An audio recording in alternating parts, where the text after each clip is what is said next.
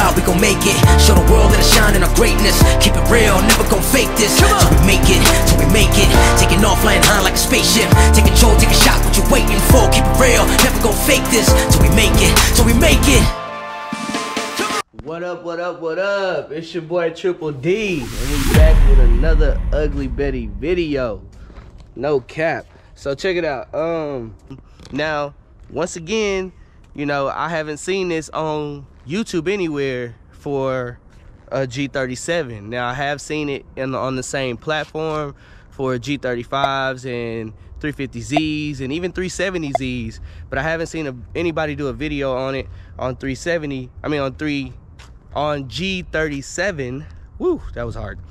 So I figured I would do it myself and uh, put one on here. Now, don't get me wrong, I didn't uh, buy this just to uh, make a video first. Um, I'm actually buying it because my hood on my car does not sit flush. And I'm hoping that I can delete the hood latches that are attached to the hood and use these um, push button hood latches in order to fix my problem. So let's let me show you a little bit of what I'm talking about.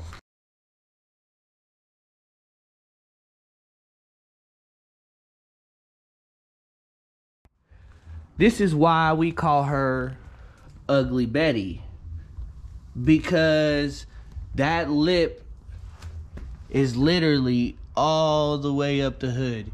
Now, the car is wrecked on this side, but when I brought the car, it didn't look this bad. Um, it didn't look bad at all. It actually, everything fit perfect. And then you have a little bit of a gap over here, all the way up. I'm not thinking that I'm gonna get this perfect.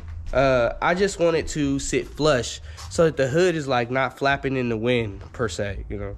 So, um, and from a distance, maybe it'll look better. Um, up close, you'll still be able to see the imperfections, but that I just want it to look better.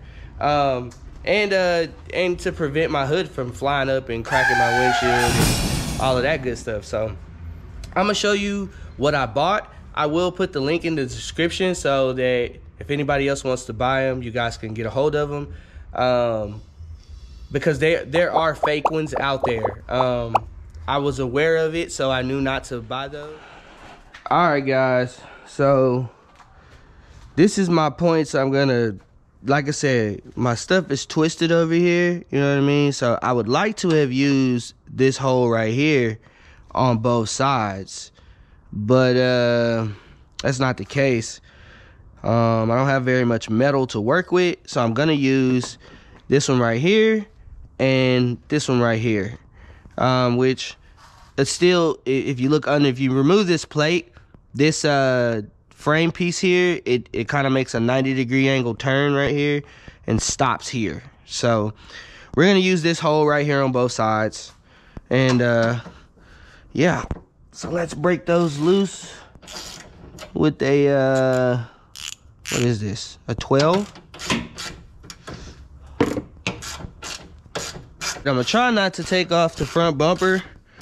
Uh, it's not that big of a deal to do it, but you know, it's just one of them things. If you don't have to, you don't want to, kind of, sort of. So, yeah, same thing on this side. I may have to loosen this up just to be able to move it a little bit because I don't want to really hit this um, bracket right here. Um, so, yeah, that may not be the case for this side. I may have to, I don't know. We'll see. Let's start tearing shit up. All right, so here's the bracket right here.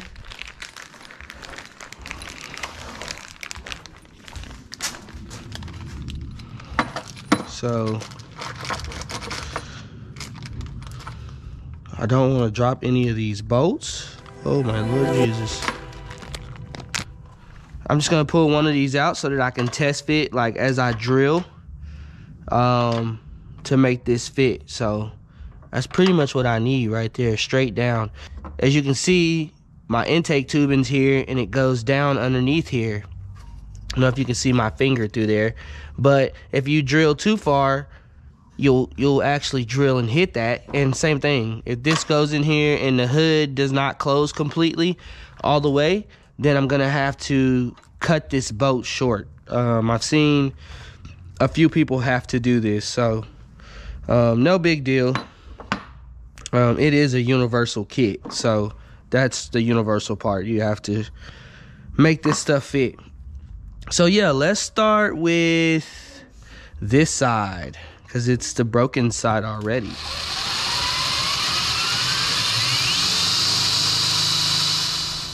All right, guys, so I've got the holes drilled all the way out, as you can see.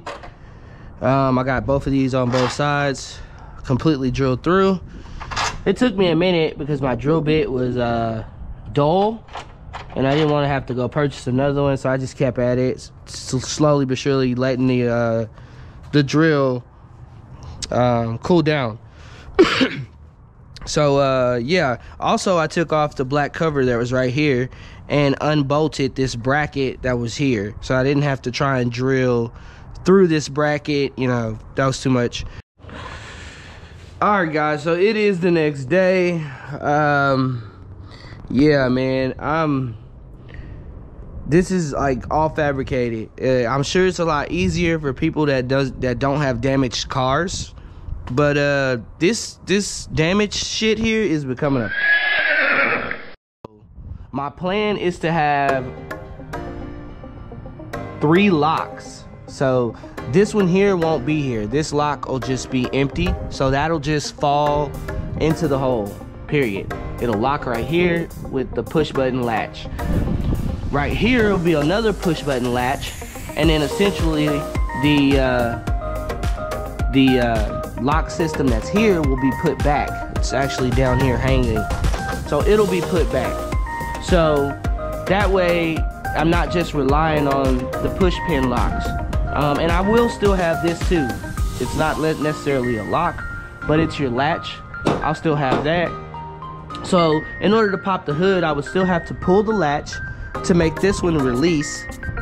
Then I would come to the front of the car and I would push these buttons, boom, boom, and then I would lift, lift up with this. So it's kind of somewhat of a security system as far as for the hood goes, and I'm hoping that it works. Now, we're gonna put the paint on top of the ballpoint right here on both sides. We're gonna let the hood down to see where the paint lands, and that'll be our drill point, man.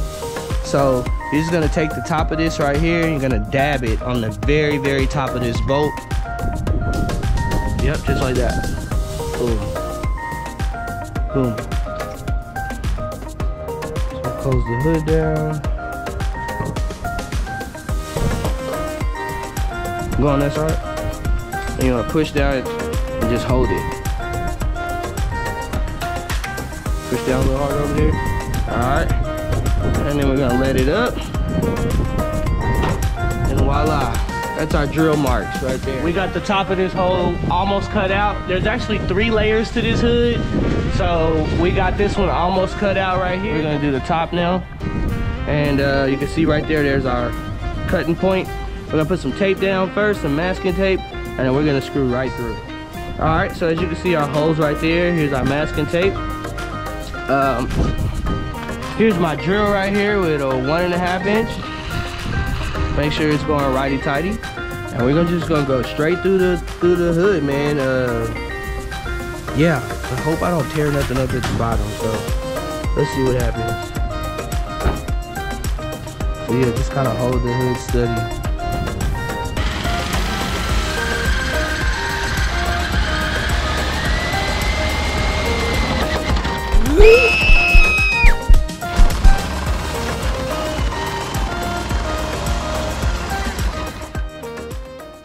Oh no! It bent. Oh my God, I just tore my hood up.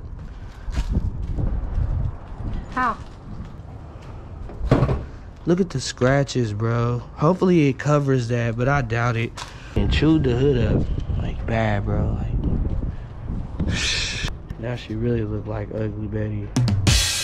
For the ones that are thinking about doing this, be ready to it up, you know? There As you can see, I scratched it up. Like, woo wee! Like bad. So, we're gonna peel back all this stuff and make sure it fits. But yeah, this is what happens when you use a cheap hole saw. the hole saw I used at first it bent and ran. Oh my god. So yeah, let's see if the thing fits in that hole. Damn. So you're gonna take the bottom piece off of here, the little bracket, and we're just gonna try to uh, see if that fits, if it'll just fall through. Yep. Yep, falls through no problem. So like I said, you can still see the scratches around the edges. That's gonna be ugly. But we're gonna try our best to not do that on this side. And like I said, it's it's this is a functional thing for us. I'm not doing this just to look good. I'm doing it because I have a big gap in the hood and it kind of flaps in the wind when I get over like 85, 90. So yeah, this is kind of what it's gonna look like from a distance. It doesn't look so bad, but up close and personal, woo wee, man, I might have to go get some touch-up paint. That looks that bad.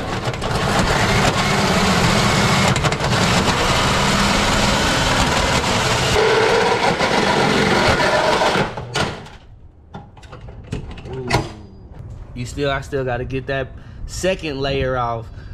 See, most hoods is two layers. This hood is like three layers. It's this layer, this second layer, then the top layer. Not already. Don't cut this while I'm on over here. I'm over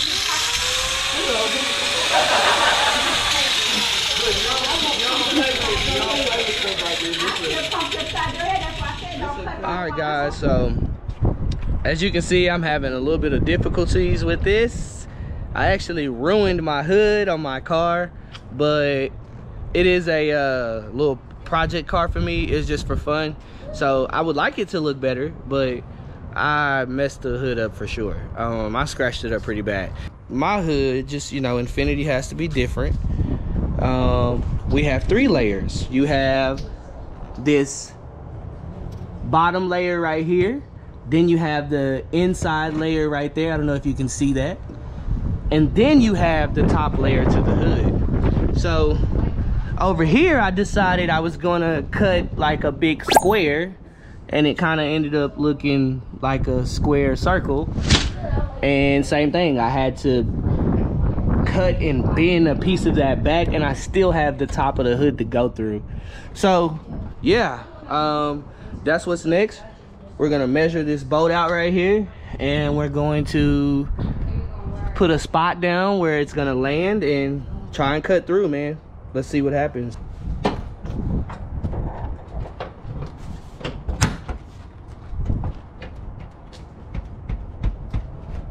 All right.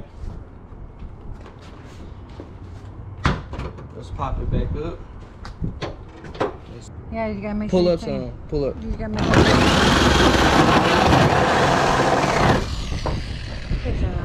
All right, so this is the hole we got, and it fits perfect. This actually is too big, so that's why they tell you to get um an inch and a half. But I think I got an inch and three quarters or something like that, so it's just a little bit bigger. All right, so next we're gonna be putting this right here through the top. Just drop it in like so. We're gonna take some of our thread lock. And we're gonna put some of this thread lock on these threads. Watch your fingers, please. It's sharp in there.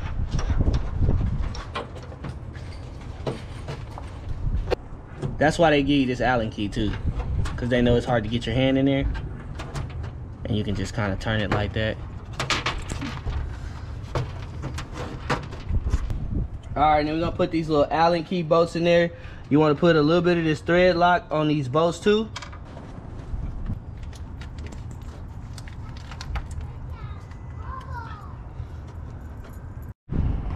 All right guys so this is what i'm left with. It isn't the prettiest for me but is what it is. So i'm pretty much left with uh, the the hood cutout that i showed you. And uh, these are pretty these are locked in place. This locked in place so it won't move. We're gonna go ahead and uh, put everything back in. This little plate thing right here and uh, my lock right here. Now I don't know if this lock is gonna work or not. Uh, if if not, I'll get it working. I'll I'll have to fix the height again. But if it does work, then perfectly, then great. That'll work. That's just extra security. guys, so this is what happened. This is how it went down. I could not get everything on camera like I wanted to. I'm sorry for that. Uh, this did not go as planned. Um, and I will not, I will say this. This is not a hard install, but just with the damage with my car and um, you know a little bit of uh, me being a novice and you know stuff just didn't line up and go right. But anyways it still worked out great. It still seems to work for me. Um, i still have three locks to the hood. Like i said i would have so let me show you how it would work if i wanted to pop my hood. Come to my car unlock it pull the latch.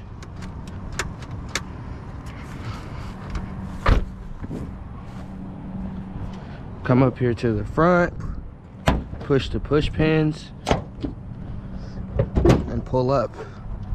And uh there's a wrench under my car.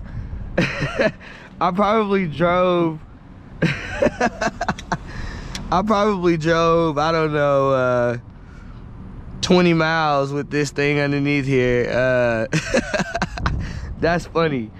But anyways yeah it seems to work just fine. Um uh it's like i said it's not perfect bro but nothing's perfect on this car as you can see. Um i'm trying to give you a view of this but i don't know if you can see this but it did not come out great it almost looks like a little house. And uh but everything did hold up. That side came out a lot better.